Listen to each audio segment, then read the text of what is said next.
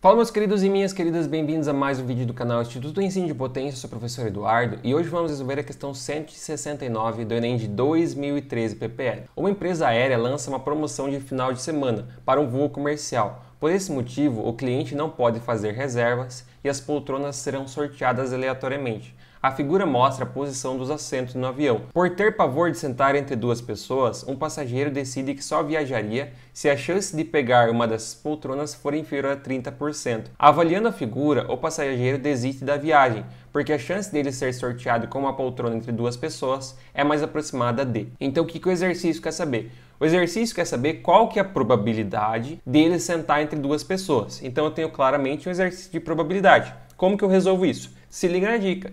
Eu sei que a probabilidade são os casos favoráveis dividido pelos casos totais.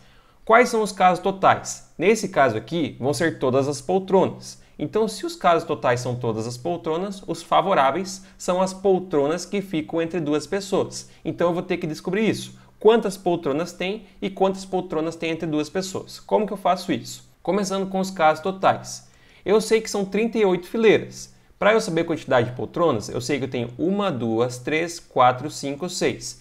Eu tenho seis poltronas em cada fileira, então 38 vezes 6. Só que, peraí, eu tenho uma, duas, três, quatro. Eu tenho quatro fileiras onde eu não tenho três poltronas de cada lado. Então eu vou ter que descontar essas poltronas que eu estou contando a mais. Então, no caso, é uma, duas, três, quatro, cinco, seis, sete, oito. Então 38 vezes 6 vai me dar o total menos 8, agora sim vai me dar o total. Então 38 vezes 6 é 228, menos 8. Isso aqui vai ser 220, então 220 é o total. E os casos favoráveis? Os casos favoráveis, mesma coisa. O que, que eu sei? Eu sei que ele não quer sentar nas poltronas que ficam entre duas pessoas. Então o que, que eu faço? Eu vou ter que contar essas poltronas aqui do meio. Como que eu faço isso? Basicamente, essas poltronas vão ser as 38 fileiras, descontado novamente o 8. Só que agora, ao invés de ser vezes 6, vai ser vezes 2. Porque aqui desse lado eu tenho uma fileira de poltronas que fica no meio e aqui também. Então, quando eu multipliquei por 6, eu estava calculando tudo. Agora só vou estar calculando as do meio, por isso que eu multiplico por 2. Porque é uma desse lado e uma desse lado aqui. Ó, uma desse lado e uma desse lado.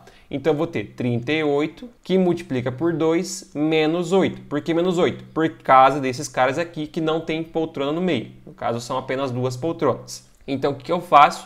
Eu vou ter 38 vezes 2 menos 8. 38 vezes 2 é 76 menos 8. Isso aqui é igual a quê? Isso aqui é igual a 68. Portanto, a minha probabilidade, probabilidade vai ser 68 dividido por 220. 68 dividido por 220, você pode ir simplificando e daí você vai encontrar o seguinte valor: 30,9%. 30,9% é mais próximo de 31, portanto a alternativa correta é a alternativa A. Então é isso, gurizada. O exercício um pouco chato de ter que fazer essa conta aqui no final, mas fora isso é bem tranquilo. Qualquer dúvida que você tiver, alguma coisa que não ficou claro, deixe aqui embaixo nos comentários que com certeza estarei esclarecendo para você o mais breve possível. Também peço para você que se inscreva e ative as notificações para não perder um vídeo, nenhuma dica, nenhuma novidade. Muito obrigado a todos que assistiram, bons estudos, grande abraço, valeu e até a próxima.